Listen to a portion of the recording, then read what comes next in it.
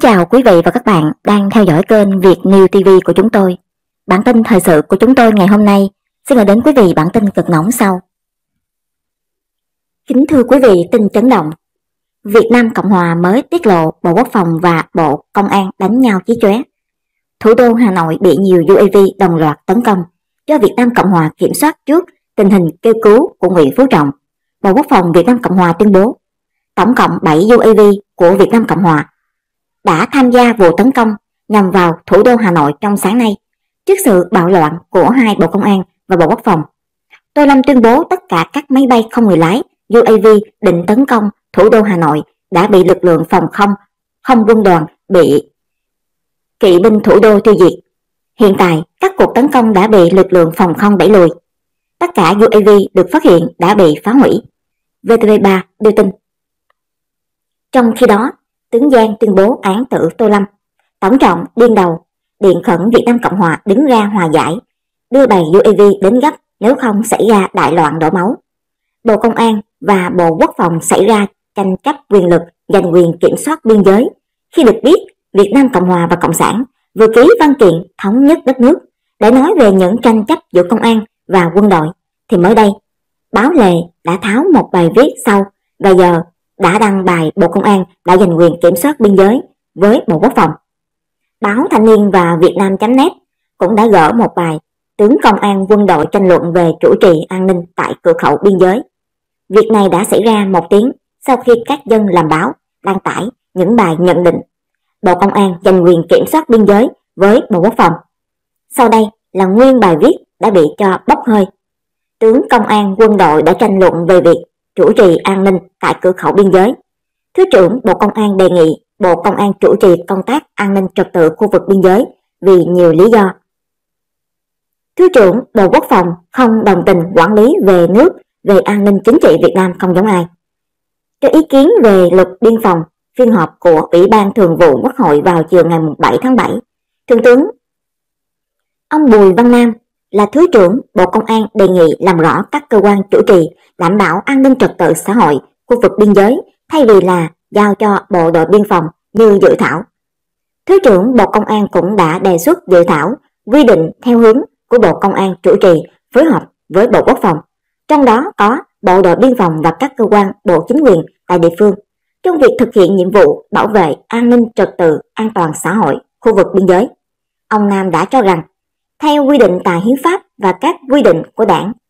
Việc bảo vệ an ninh quốc gia, đảm bảo trật tự an toàn xã hội, đấu tranh phòng chống tội phạm phải do Bộ Công an chủ trì. Bên cạnh đó, theo ông Nam, bảo vệ an ninh quốc gia, đảm bảo trật tự an toàn xã hội khu vực biên giới không chỉ là quản lý đường biên giới cột mốc mà còn là bảo vệ nội bộ, bảo vệ an ninh văn hóa, tư tưởng, an ninh thông tin đấu tranh chống gián điệp, phản động, quản lý xuất nhập cảnh, phòng ngừa đấu tranh chống tội phạm, kinh tế, ma túy, môi trường, tội phạm xuyên biên giới quốc gia. Các nhiệm vụ này đã được quy định rõ trong hệ thống pháp luật về an ninh trật tự hiện hành. Trong đó, quy định rõ Bộ Công an có trách nhiệm giúp chính phủ thống nhất quản lý trên các lĩnh vực này. Ông Nam cũng đã nêu rõ quan điểm. Ông Nam cũng đã cho rằng quản lý nhà nước trong vấn đề an ninh trật tự cũng không giống ai, khi mà cả cơ quan công an và quân đội cùng quản lý nên nhiều việc về an ninh quốc gia đã có sự chia cắt dẫn đến khó xử lý trong vụ việc. Cụ thể ví dụ, về quản lý xuất nhập cảnh vừa qua là có chuyện quản lý của người nước ngoài liên quan đến văn kiện Cộng sản và Việt Nam Cộng Hòa vừa ký. Ông Nam đã cho rằng hiện nay bộ đội biên phòng quản lý xuất nhập cảnh biên giới và trên biển, còn công an là quản lý ở Nam cửa khẩu hàng không. Hai hệ thống quản lý mặc dù là có liên kết nhưng không tránh khỏi những sơ hở Ông Nam đã nêu và cho rằng nếu không khắc phục đảm bảo trồng chéo hiện nay là việc đảm bảo an ninh khu vực biên giới thì sẽ còn sơ hở. Từ đó ông Nam cũng đã đề nghị cần phải hết sức cân nhắc để vẫn đảm bảo việc an ninh nhiệm vụ biên phòng. Nhưng cái chính của chúng ta là đảm bảo được sự thống nhất quản lý an ninh trật tự toàn bộ hệ thống đất nước về trách nhiệm của các đồng chí. Quyết định biên phòng chủ trì hai bên, công an chủ trì cũng được, nhưng tôi e rằng nếu như chúng ta chưa quyết định đủ cơ sở thuyết phục thì sau này thành luật tướng rồi thì khó lắm. Ông Nam cũng đã nói về đề nghị nếu không giao cho công an chủ trì thì có thể để tạm Bộ Quốc phòng chủ trì, nhưng hiện tại căn cứ thực tiễn để rồi quy định cho phù hợp, nhiệm trước hết thuộc về Bộ Công an.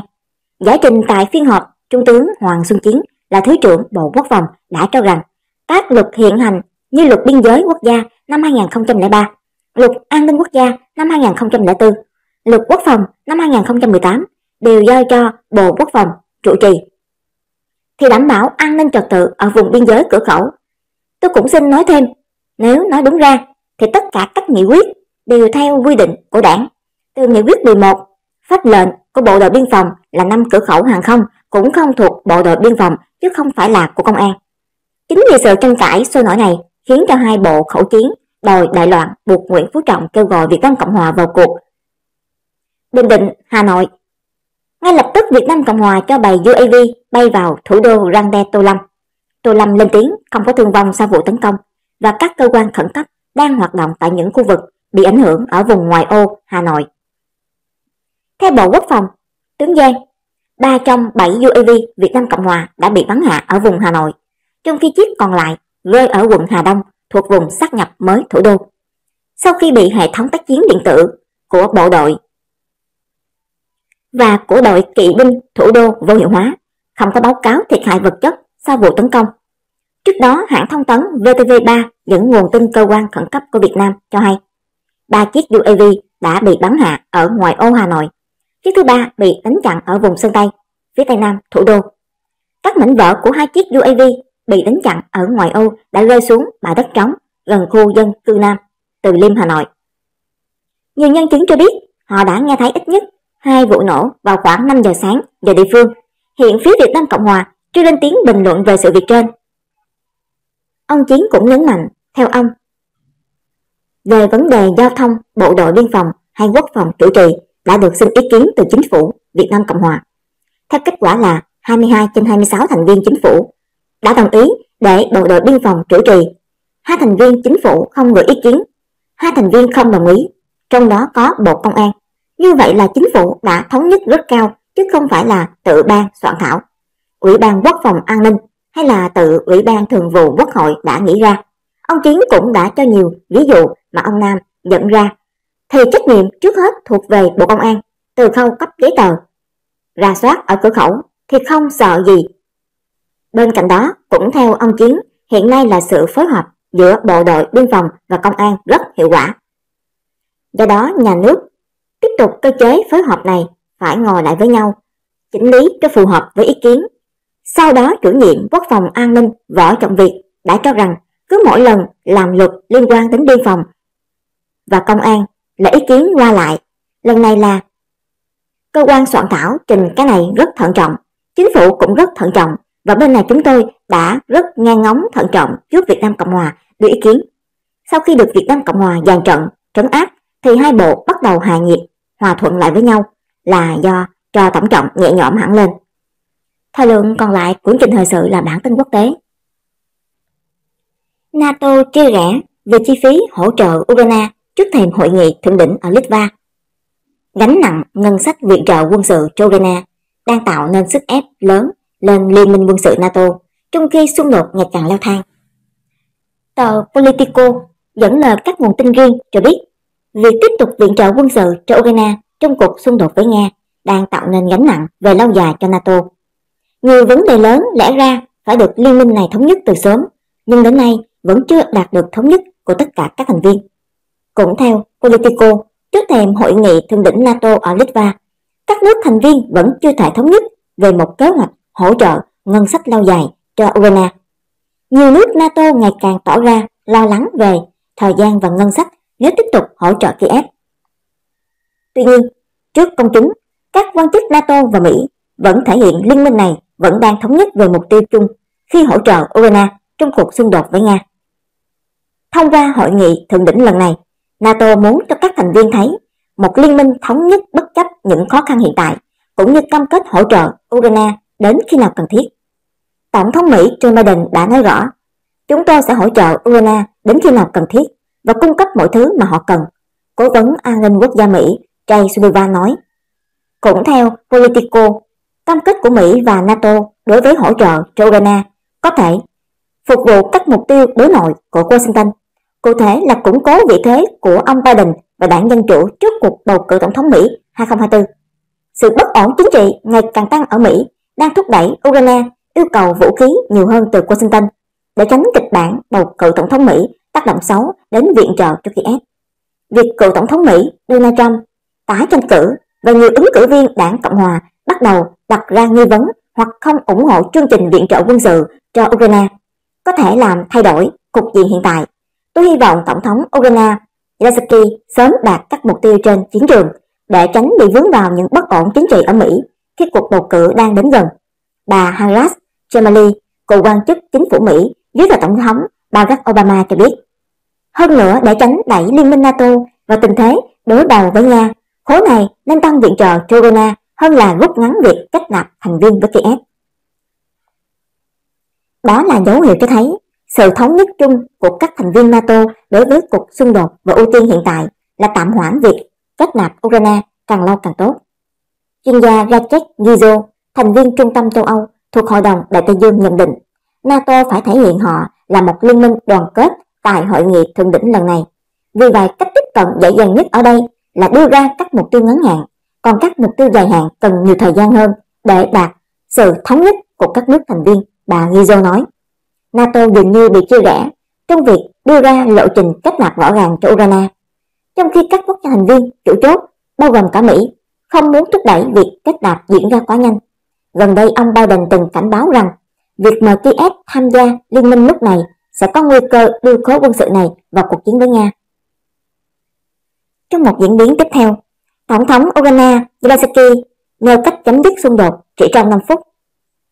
Tổng thống Zelensky nói rằng người đồng cấp Mỹ Joe Biden có thể chấm dứt xung đột Ukraine chỉ trong 5 phút bằng cách khuyên Ukraine nhượng bộ lãnh thổ.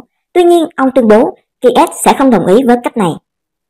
Nếu nói về việc chấm dứt xung đột bất chấp việc Ukraine phải trả giá, hay nói cách khác là buộc chúng tôi phải nhượng bộ lãnh thổ, thì tôi cho rằng bằng cách này, Tổng thống Biden có thể kết thúc chiến sự chỉ trong 5 phút, nhưng chúng tôi sẽ không đồng ý.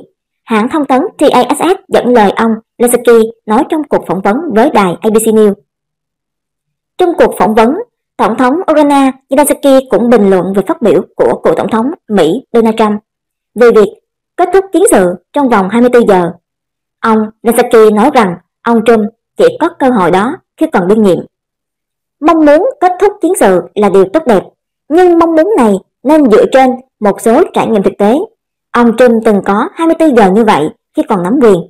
Thời điểm chúng tôi đang trải qua xung đột với phe ly khai ở miền Đông, nhưng ông ấy đã dành thời gian cho những ưu tiên khác, nhà lãnh đạo Ukraine nhấn mạnh. Trả lời câu hỏi liệu ông có lo ngại sự hỗ trợ của Mỹ cho Ukraine sẽ giảm trước thềm cuộc bầu cử tổng thống vào năm sau hay không? Ông Zelensky cho biết đó là chính sách nội bộ của họ. Người Mỹ có quyền quyết định, tôi không muốn can thiệp vào. Điều quan trọng với chúng tôi là duy trì sự ủng hộ của lưỡng đảng đối với Ukraine. Chúng tôi hiểu rằng có một số tín hiệu nguy hiểm từ một số chính trị gia Mỹ liên quan đến việc cắt giảm viện trợ cho Ukraine. Trước đó, Phó Chủ tịch Hội đồng An ninh Nga Dmitry Medvedev tuyên bố chiến dịch quân sự đặc biệt tại Ukraine sẽ chấm dứt trong vài ngày sau khi Mỹ và đồng minh ngừng gửi vũ khí tới Kiev.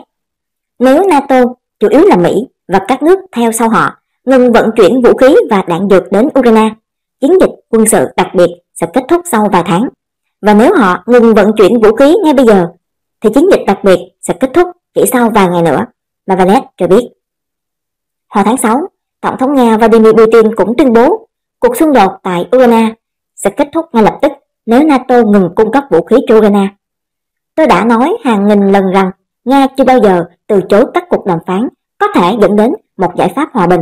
Hơn nữa, trong các cuộc đàm phán tại Istanbul, chúng tôi đã khởi xướng một tài liệu như vậy. Chìa khóa để giải quyết vấn đề nằm ở phía phương Tây. Nếu thực sự muốn xung đột được giải quyết thông qua đàm phán, thì họ chỉ cần đưa ra một quyết định duy nhất là ngừng cung cấp vũ khí. Nhà lãnh đạo Nga nhấn mạnh.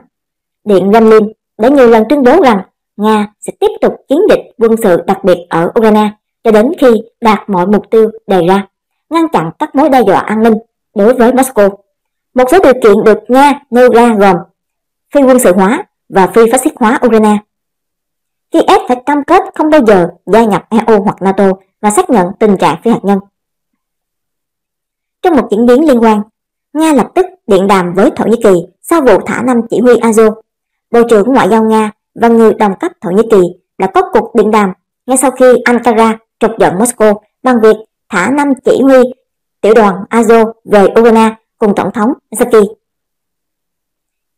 Reuters cho biết cuộc điện đàm giữa ông Sergei và ông Hassan Fidan diễn ra hôm 9 tháng 7, tức một ngày sau khi Thổ Nhĩ Kỳ thả năm chỉ huy tiểu đoàn Azo, điều mà Nga cho là vi phạm thỏa thuận trao đổi tù binh.